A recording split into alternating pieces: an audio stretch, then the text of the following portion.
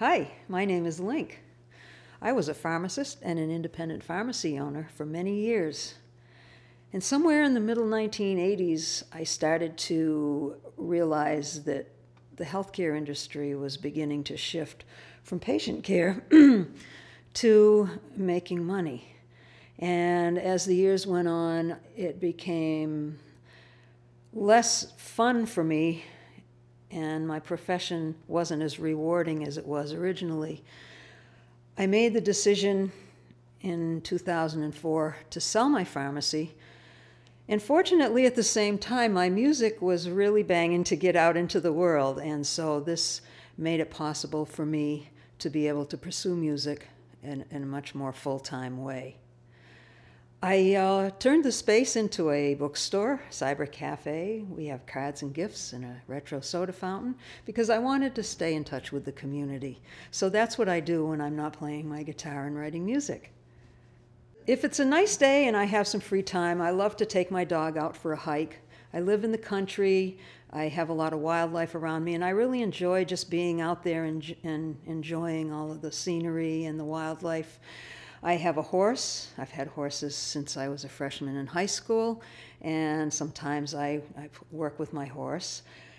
I love to read, and that's why I turned my space into a bookstore. I'm an avid reader. Uh, I read a lot of different things from biographies to mysteries, and I really have a good time at that. There was always music on in my house. My parents were music lovers. Um, as I grew old enough to start developing my own taste in music, I loved artists like the Everly Brothers. My cousin and I used to harmonize together. We, when we were in junior high school, we were going to grow up and call ourselves the Cousins, but that never happened. and uh, once I got into college, I just was really infatuated with the whole music scene from Bob Dylan, Joan Baez, Janis Joplin. I saw Led Zeppelin when they came to the country for the first time. I still have that first album on vinyl that I bought the night of their show in Boston. Um, I just really um, needed to do the music, and I had taken some piano lessons as a child. So when I was in college, I bought myself a guitar I'm left-handed, so I had it restrung. It was just a nylon uh, acoustic classical guitar. Bought myself a chord book and used my background that I'd had playing piano and also singing in chorus during school uh, to learn how to play the guitar. And I just continued from there. And I had played for myself for years and for friends here and there.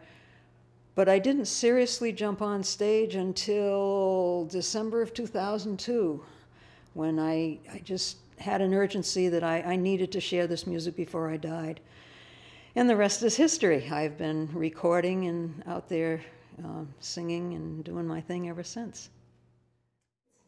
I have a son. He's in his middle 30s. He is an electromechanical engineer, and he lives out in Colorado. I was married for a few years back. I got married right out of college, and uh, that was back when I was naive enough to think that I had to live my life the way society expected me to. Um, and uh, so it was very freeing after the marriage got over and I was able to come into my own, find myself, and live an honest life as a lesbian. I'm a social justice activist. And when I write my music, it's usually from some kind of an emotional space. I've had the um, opportunity to work with some really important people within the GLBT community. I, as a resident in Massachusetts, I worked very hard behind the scenes for marriage equality here in the state. And because of that activity, I had the opportunity to work with people like uh, attorney Mary Bonauto from GLAD, uh, and also Gary Buseck, Ben Klein, uh, who were instrumental in bringing marriage equality to the state.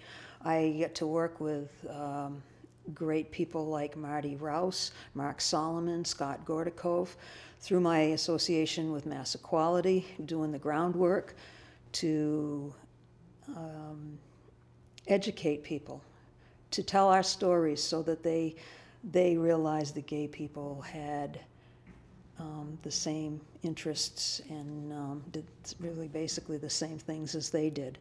So we basically became visible. We put ourselves out um, as living examples.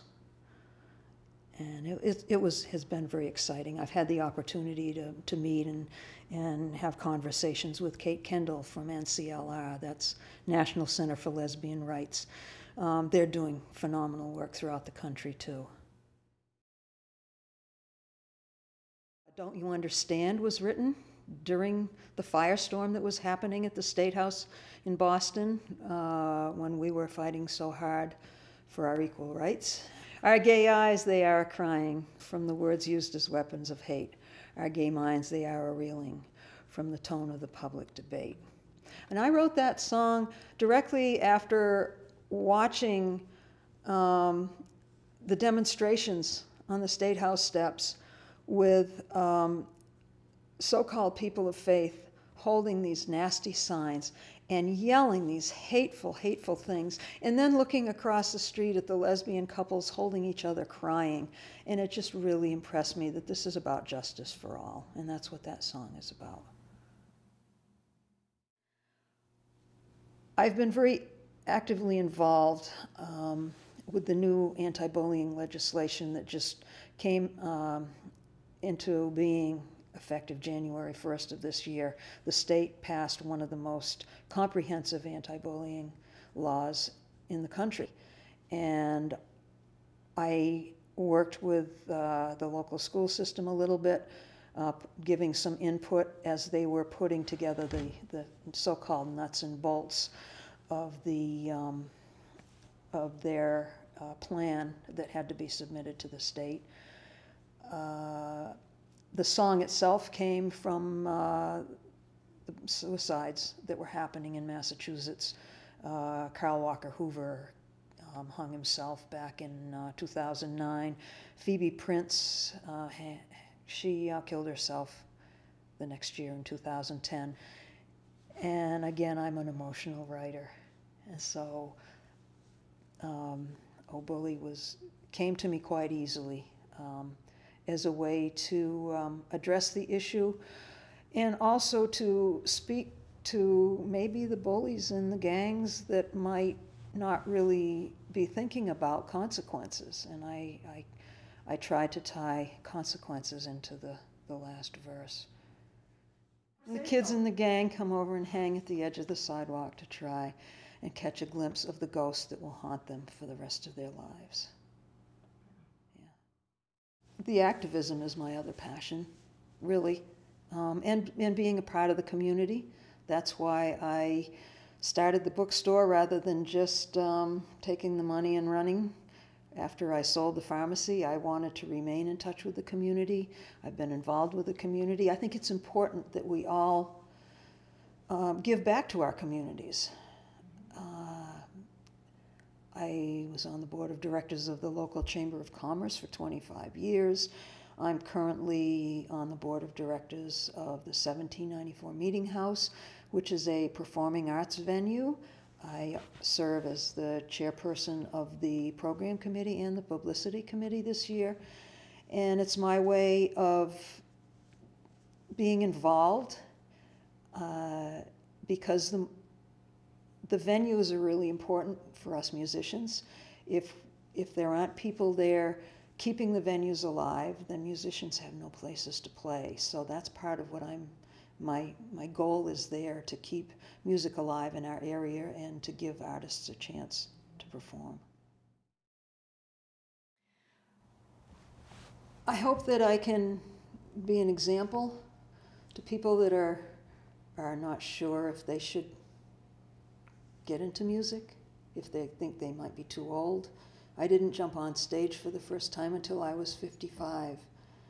Um, but it was important to me, and uh, I can just say from experience it's never too late to really follow your music as a passion, as a as a business, as a uh, a way of living.